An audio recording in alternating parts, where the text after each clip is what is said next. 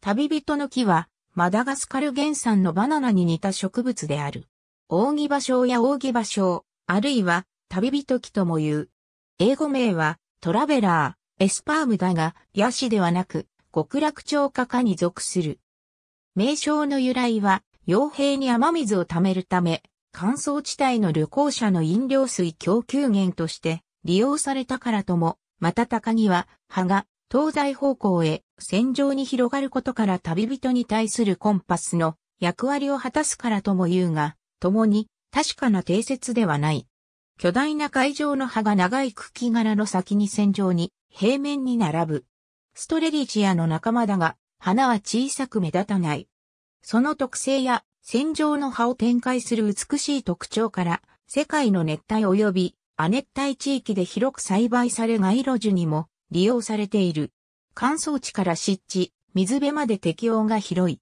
マダガスカル航空の美翼に図案化されている。旅人の木は、旅人の貴族における唯一の種であり、南部アフリカの極楽鳥家族、南米の旅人の木本貴族と非常に近しい。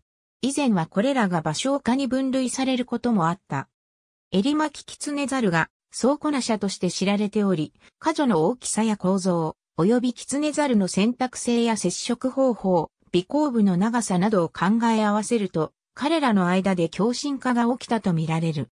マダガスカル固有種で、本来は海抜0メートルから1500メートルの湿潤林や草原、岩場に見られる。モーリシャス、バングラデシュ、メキシコにも持ち込まれている。成長に従って養鶏が落ち、養木には見られない茶色の丈夫な樹幹が現れる。葉は船の貝のような形をしており、左右対称に並んで平面をなすため見た目は扇に似る。葉先は緑色だが、養鶏の付け根は黄色である。